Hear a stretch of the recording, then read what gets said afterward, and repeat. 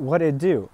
Did you know on this day, February 28, 1935, nylon was discovered by Wallace Carothers of DuPont.